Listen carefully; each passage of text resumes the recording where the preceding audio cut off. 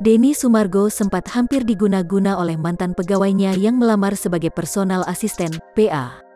Baru seminggu bekerja, pegawai tersebut meminta resign dengan berbagai alasan yang membuat Denny Sumargo curiga. Ketika diselidiki dan dicek percakapan di telepon genggam milik mantan pegawainya itu, pria yang akrab disapa Densu ini mendapati niat tidak baik dari orang tersebut. Ia menemukan percakapan yang meminta bantuan agar mantan pegawainya itu bisa membuat Densu dan istrinya nurut.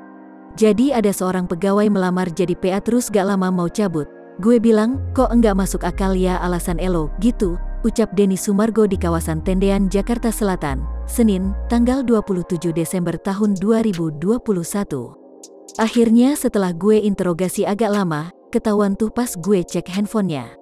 Di situ ada obrolan dia sama orang lain, katanya mau ritual gue sama istri gue nurut ke dia, bebernya.